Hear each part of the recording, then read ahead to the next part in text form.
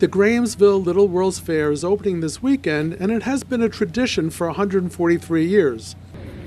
Thousands of people from surrounding areas go to Grahamsville to enjoy the many festivities. Jessica Doyle is the general superintendent, and she talked about what people can expect when they get there.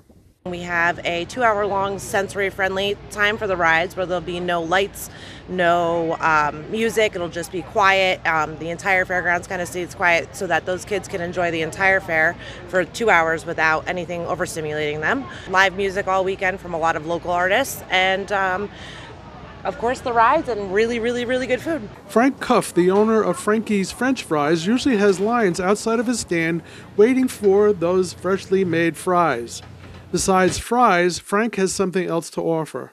The fair has a scholarship fund, and when my wife died in 2000, we put a $500 scholarship in her name. And it doesn't have to be somebody that's a rocket scientist. I like people that work and dedicate to the fair. And this is who our scholarship, the Entre- Teresa Cuff Entrepreneur Scholarship, is uh, dedicated to. Mike Origliano is the director of the fair. We have one vendor who says that uh, it's a fair on a hill, but we're on the level. And uh, so we, we pride ourselves on being a traditional little country fair. I'm Jim Sebastian, MidHudsonNews.com.